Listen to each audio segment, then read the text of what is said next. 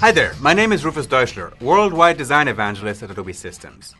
In this episode of CS Insider, I wanted to talk a little bit about Adobe Repoussé, the 3D feature in Photoshop CS5 Extended, because there's really cool stuff you can do with that. In Photoshop, Photoshop Extended I add, we can go here over to the 3D workspace, okay? And we can see that we can create 3D objects in Photoshop from several type of sources. We can select layers, a work path, a current selection, a file. We can even create 3D postcards from an image. We can create 3D shapes from a preset, such as a cone, a ring, a soda can, and then apply um, 3D graphics on those. The 3D effect I want to talk about today is repoussé, to create a 3D repoussé object. And to do that, I will add some text to that image Let's write the word create, make that slightly bigger. And here, ah, let's place it right here. And here over in the create new 3D object, I will ask Photoshop to create a new 3D repoussé object. And click create. Photoshop tells you that this text layer will actually be rasterized to do that, but that's fine. Let's say, let's say yes to that. And what Photoshop will do here, it'll take the pixels of the text and actually extrude them to create that 3D object.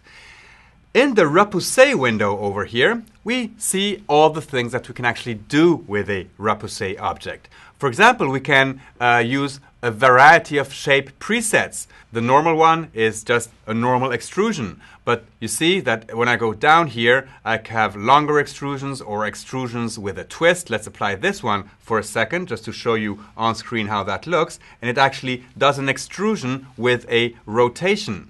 Uh, if we go down, it can also do an extrusion that makes um, some sort of a curve with the text. Okay, I call this almost like 3D sculpting inside of uh, Photoshop CS5 Extended. But let's go back to our previous shape preset, the normal one. And look at this other thing here. We can also choose the materials that we want to use on that, on that object. And you see, there's various faces to the object. There's the front and then a couple of bevels, the back of the object and the sides of the object. And all of those can be textured differently. If we go here in the menu, you see that there's whole, a whole bunch of textures that you can already use. And that goes from mar marble to checkered, uh, shiny thing here. And, uh, but let's leave it white for a second. And I will show you in a second also how you can get more of those materials and presets.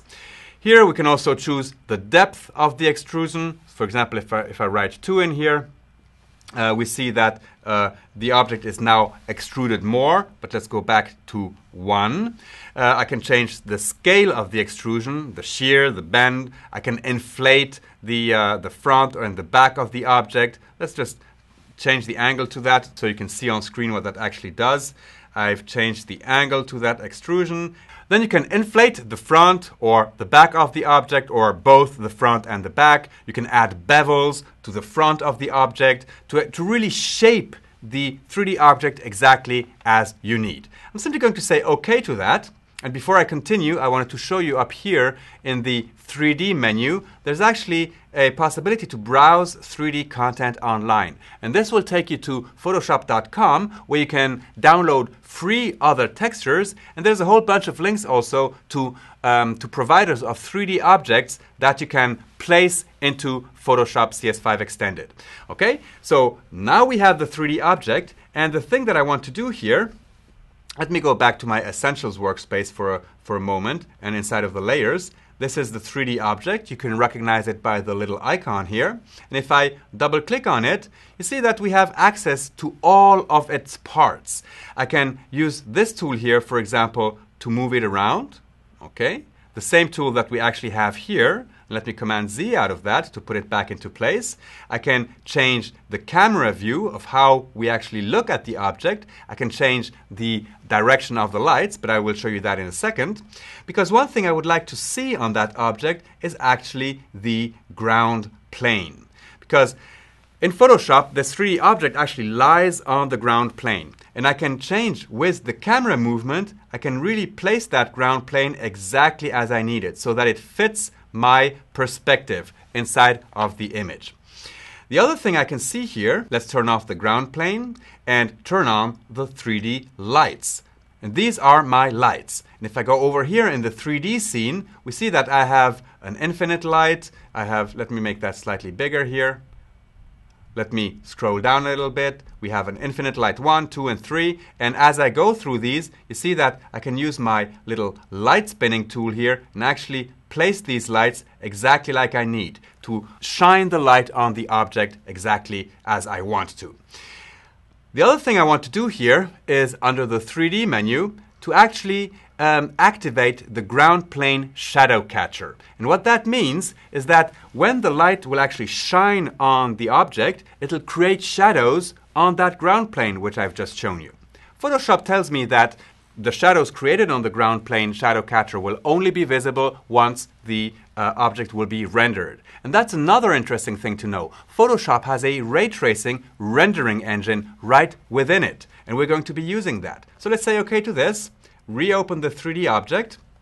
So we have the lights, we have all of our objects here. I want to go back to the lights. What I want to do is to change the softness of the light so that the, the, the shadows created by the infinite light 1 are actually softer than the others. And I'm going to change that to maybe something like 20%. All right, we're done. Let's go back to our scene here, and we're going to change the quality of the rendering from interactive to a ray traced draft. Okay, that's a bit faster than the ray traced final. Ray traced final is really the best ray tracing that you can create in Photoshop. Let's make a quick one just to get the idea of how this actually works.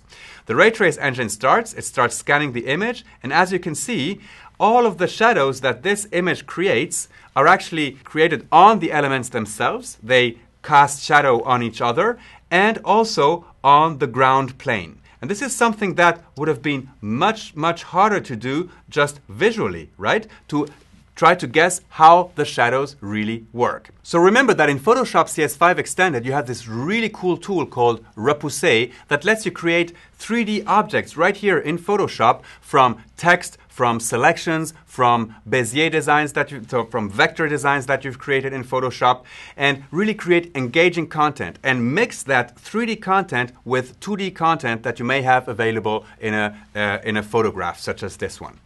Thank you for following this episode of CS Insider, and I'll be seeing you soon.